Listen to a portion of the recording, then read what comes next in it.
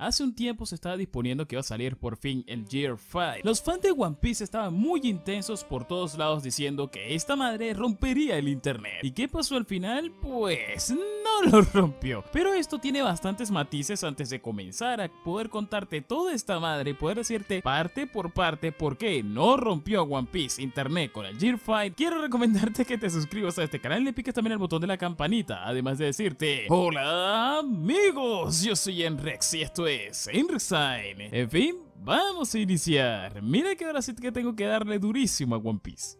La gente estaba muy impaciente con lo que iba a ser el Year Fight en pantalla. Los fans de One Piece estaban por todos lados a cada momento que podían diciendo que One Piece rompería el internet. Que One Piece sería la última cosa que la gente vería romper internet. Que One Piece se colocaría por encima del panita Dragon Ball. Y pues no pasó. La cosa es bastante simple del por qué no iba a pasar, pero principalmente hay que recordar unas cuantas cositas antes de llegar a aquella respuesta. Supuestamente me cuentan un unas fuentes un tanto dudosas que todo esto de que One Piece iba a romper el internet empezó directamente por el fandom en inglés, los cuales saltaban muy intensos diciendo que One Piece superaría a Dragon Ball por fin con el Gear Fight, que el Gear Fight se convertiría en la cosa que estaría por encima en transformaciones del Super Saiyajin, aquella icónica transformación que ha recorrido el mundo y que permitió directamente a todo el mundo conocer el anime prácticamente. Aunque si bien eso es una afirmación muy completa y quizás un poco sesgada de algunos fans de Dragon Ball, la verdad es que Dragon Ball sí que le abrió las puertas a muchos animes a lo largo del planeta, básicamente. Cada que tú vas a cualquier sitio le puedes preguntar a casi cualquier persona si conoce a Goku, a Vegeta o algún personaje de Dragon Ball y probablemente sí te sepa responder quién es cada uno de ellos. O al menos tenga una idea medio vaga, e incluso una viejita como mi abuelita sabe quién es Goku. En cambio se le pregunta sobre algo sobre One Piece, sobre una persona que va en un barquecito y toda la madre, es muy probable que esta persona no te sepa responder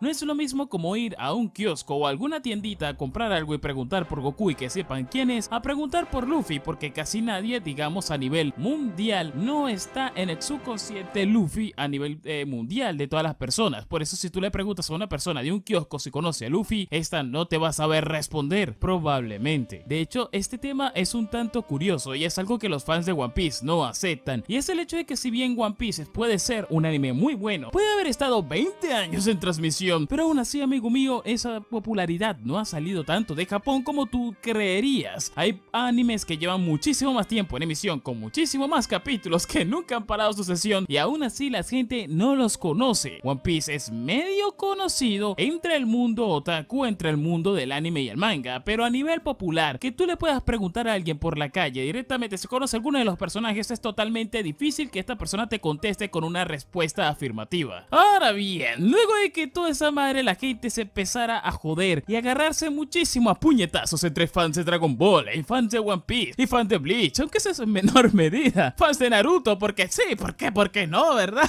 La fiesta estaba abierta. Había que entrarse a puñetazos en todos lados, claro que sí. Pues llegó el famoso día del Year Fight y estaba todo el mundo interesado en saber si esto por fin rompería el internet. Los fans de One Piece se movieron tanto que al final terminaron pagando dinerito para que intentaran salir con One Piece en el Year Su capítulo estrella en los cines. Y si bien lograron poner esa madre en algunos cines, digamos que no estaban muy llenos. Hay demasiadas fotos y pruebas de eso por internet. A pesar de que intentaron por ahí mucho decir que no, que sí que estaba lleno, que yo lo vi completo, ¿qué tal? Yo creo que esa gente veía lo mismo que vio mi presidente actual de Venezuela cuando pasaron las elecciones. Él me caminando por las calles diciendo que todo el mundo lo saludaba y cuando mostraron directamente la cámara del otro lado no había nadie. Pues básicamente algo parecido, no tan tan drástico porque por lo menos en One Piece había gente en las salas y toda la madre. Pero en fin, la cosa es que yo vi fotos de ello, más no las pude encontrar porque, bueno, los fans de One Piece publican como 30.000 mierdas al día y es complicado encontrarlos, pero básicamente estaban estas cosas así. Ahora bien, llegados el día, por fin se publicó el capítulo y básicamente hubo gente que lo reaccionó en secreto, lo reaccionó en directo, se lo vieron básicamente, pero esta madre no rompió el internet. Y es que principalmente lo que querían lograr era algo totalmente absurdo hasta cierto cierta manera. La transformación de Luffy fue y tal y como lo dije yo en un principio y lo sigo manteniendo hasta el día de hoy, es una transformación más de meme, es una transformación mucho más uh, llegado a la memera, básicamente. No es una transformación que pueda quedarse en el subconsciente de la gente siendo de manera icónica. Una transformación que evoque algún sentimiento, digamos, de epiquismo dentro de la gente, un sentimiento de euforia, o al menos de nostalgia, ya que tanto se quieren basar en la nostalgia que no sé qué. Pero les voy a decir algo muy importante, eso mismo también le va a pasar a One Piece y le va a pasar a casi cualquier serie, porque creo que lo más básico de la nostalgia es que la gente se acuerda de algún hecho que ocurrió en ese momento para poder que ese hecho se transforme en un hecho nostálgico. Sin algo que pase durante el tiempo, no ha pasado ni siquiera, no se puede convertir en algo nostálgico, por lo tanto los capítulos que ya pasaron de One Piece son un hecho nostálgico ya de por sí mismo. Por lo tanto, los fans de One Piece que me vengan con aquí con el argumento de que no, que la gente recuerda la transformación de Super Saiyajin por pura nostalgia, pues amigo, vete a esconder entonces porque estás corriendo de la realidad. Llevas más de mil capítulos de One Piece y esos mil capítulos ya pasaron en el tiempo. Algunos de ellos tienen más de meses, semanas, años y por lo tanto todos esos hechos que tú recuerdas de One Piece son únicamente nostálgicos. Así que bueno, estamos en la misma página ahora, ¿no? Al final One Piece no rompió el internet, pero la razón verdadera por la que no rompió internet como se quería, y no es que ni siquiera no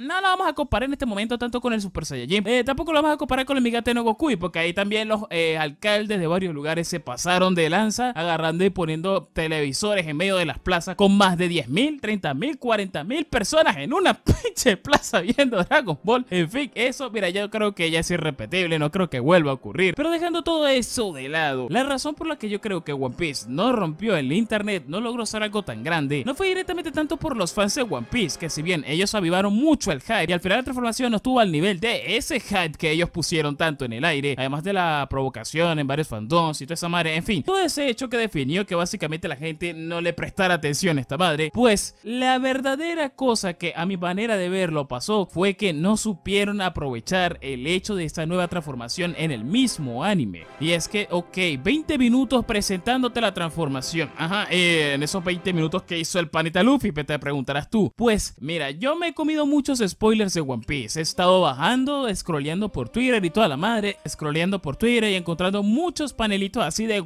spoilers que me lanzan en la cara. Pero digamos, evadiendo un poquito eso, estos spoilers me sirvieron para básicamente darme cuenta de que directamente agarraban una viñeta y la ponían ángulo por ángulo por ángulo. O sea, era un solo dibujo que te tardabas tú en el manga viéndolo un segundo, mientras que en el anime eran dos minutos viendo el mismo puto ángulo, viendo la misma cosa cada rato y era imposible avanzar esa madre de esa manera. Lo extendieron lo más posible que podían la transformación a lo largo de ese capítulo. Y a mi manera de verlo, eso no juega a, digamos, poner bien este anime o esta transformación. Se ve épico algunas cosas, pero cuando las recortas y la ves por fuera. Algunas personas hicieron edit precisamente de esos capítulos y a mí me gustaron muchísimo más que el mismo capítulo. Pero ya eso es algo por fuera. La cosa es que si hubieran recortado la transformación a como directamente aparecía en el manga, quizás alargarla un poquitico más para hacerla un poquito más épica. Pero hubieran agarrado directamente las escenas que después salió en el siguiente capítulo después de la transformación de One Piece, donde básicamente Luffy se papeaba directamente, se madriaba, golpeaba durísimamente o mostraba digamos, las escenas o sus habilidades directamente contra Kaido, creo que hubiera sido muchísimo mejor y el, digamos, la transformación no hubiera pasado tanta pena como pasó, básicamente. Hubiera sido mucho más épico ver directamente a un Luffy que se transforma y luego muestra de qué es capaz con todas sus habilidades. No te estoy pidiendo que me muestres toda la pelea entre ellos dos, solo con mostrarme una pequeña parte, o bueno, una parte más o menos interesante, una parte decente, con 10 minutos de pelea que hubieras puesto en el capítulo, mira, la gente más que conforme, más que saltando en el piso y esta madre se hubiera roto el internet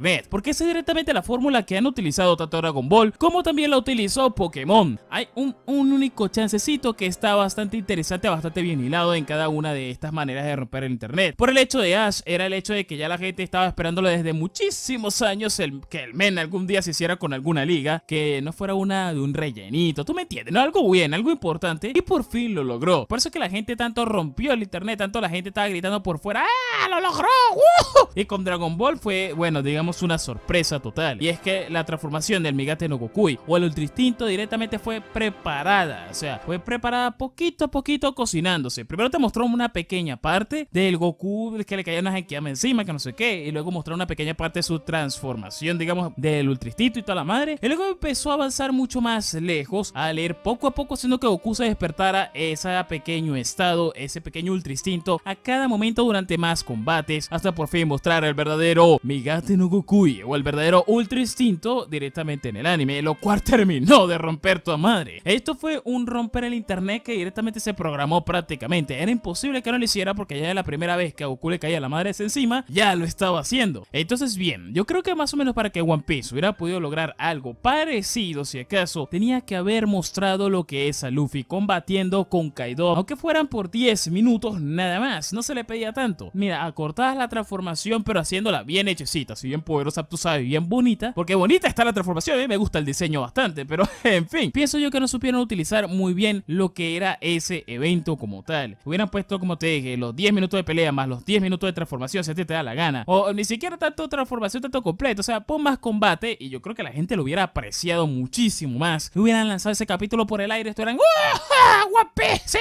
¡Uh! Pero bueno, ya no se dio. En fin, ahora las únicas esperanzas, al menos de mi parte, de que quizás One Piece pueda romper el internet, no es que yo sea fan de esta madre, pero sí me gusta un poco hasta cierta manera. Entonces, a mi manera de verlo, la única manera en que One Piece pueda romper ahora el internet es que salga una nueva transformación de Luffy, que es lo que yo voy diciéndole a los fans de One Piece hace rato, que el Gear Fight no es la transformación que romperá el internet, es la siguiente que viene después de esa, pero ellos me dicen que no, que sea la definitiva, que sea la más brava, que sea la que tenía que tú sabes, en fin. Pero otra cosa que quizás podría funcionar sería el live action, el cual directamente la ha estado rompiendo desde que ha estado saliendo, digamos, trailercitos aquí, trailercitos allá. Y bueno, a pesar de que, digamos, no se sabe más nada que aquellos trailers, esperando que salga lo que son los capítulos, pues yo creo que cuando salgan aquellos capítulos sí que se podría ver el que el internet se rompa por fin. Básicamente que la gente hable de esa madre por hasta los codos, que mi abuela sepa de esa madre, qué sé yo. En fin, comenta aquí abajo si para ti One Piece rompió el internet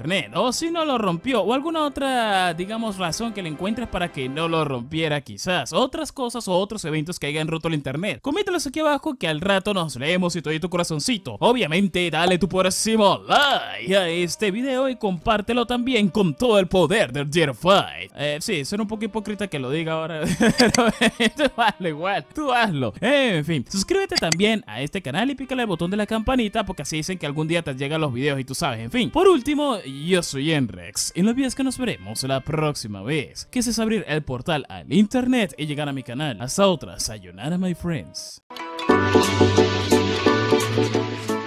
この番組はご覧のスポンサーの提供でお送りします桜咲